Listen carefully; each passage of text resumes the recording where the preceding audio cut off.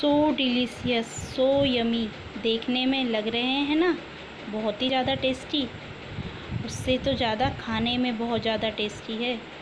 ये veg fried rice बहुत ही आसानी से बनाए जाते हैं। चलिए बनाते हैं। एक कढ़ाई में हम तेल गरम करने के लिए रख देंगे। तब तक हम देख लेते हैं हमें किन किन चीज़ों की ज़रूरत है। ये मेरे पास लेफ़्ट ओवर राइस एक टमाटर, एक बड़ा प्याज, शिमला मिर्च हरी मिर्ची, दो चार लीव्स करी लीव्स और मूंगफली के कुछ दाने हैं।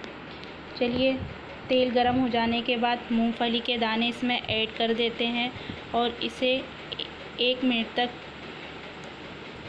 भून लेने के बाद लेफ़्ट ओवर राइस के ऊपर निकाल लेते हैं। और इसी तेल में हम बाकी की चीज़ें मिला देंगे। अब इसमें हमें थोड़ी सी राई ऐड करनी है। थोड़ा सा जीरा ऐड करेंगे। और जो दो चार लीव्स हमने कढ़ी के, कढ़ी लीव्स ली, ले रखी हैं, उन्हें ऐड कर देना है। अब बाकी की चीज़ें मिला देंगे। अब इसमें हम प्याज ऐड कर देंगे। एक मिनट तक प्याज अच्छे से भून लेंगे। ज़्यादा नहीं भूनेंगे, ना तो इसका कलर चेंज होना चाहिए, ना ही इस इसका जो क्रंचीपन है वो कम होना चाहिए। बस थोड़ी ही देर भूनना है, इसके बाद बाकी की चीज़ें इसमें ऐड कर देंगे। जैसे कि ग्रीन चिली जो कि हमने दो ली थी, कैप्सिकम और टमाटर, ये तीनों को साथ में ही ऐड कर देंगे। हमें इन सब्जियों को ज़्यादा नहीं पकाना है, बस थोड़ा ही पकाना है। आप चाहें तो अपने पसंद की कोई भी सब्ज़ी ऐड कर सकते सकते हैं। गाजर, मटर, बीन्स, जो आपके पास हो, जो आपको अच्छी लगती हो, वो आप इसमें ऐड कर सकते हैं। और ये बहुत ही हेल्दी बनती है। इन्हीं वेजिटेबल्स के कारण। अब इसमें थोड़ा सा नमक ऐड कर देना है और इसे मिला लेंगे। थोड़ी थोड़ा सा मिला लेने के बाद अब इसमें बाकी की चीज़ें मिला लेंगे। ये मैंने एक बड़ा चम्मच टमाटो केचप ले लिया है। उसे ऐड कर देंगे।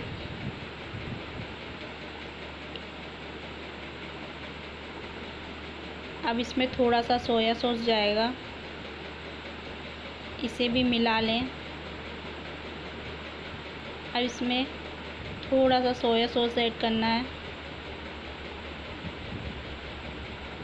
और थोड़ा सा विनेगर ऐड करें, ज़्यादा ऐड ना करें, नहीं तो ज़्यादा खट्टा हो जाएगा।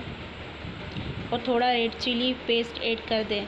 कम ही ऐड करें, क्योंकि हम इसमें ग्रीन चिली पहले ही डाल चुके हैं, नहीं तो ये ज़्यादा ही तीखा हो जाएगा।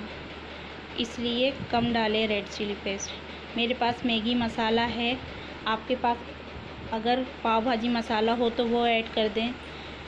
मैंने इसमें थोड़ा सा मैगी मसाला ऐड कर दिया है, जिससे इसका टेस्ट और भी अच्छा हो जाएगा।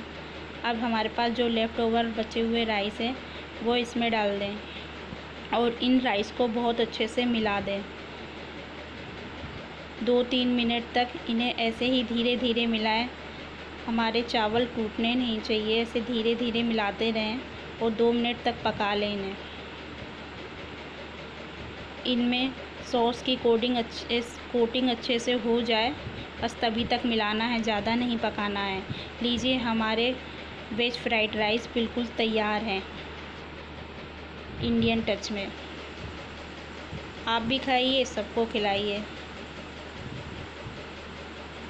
सबको पसंद आने वाली डिश, बच्चे बड़ों सबको पसंद आए, वेज फ्राइड राइस।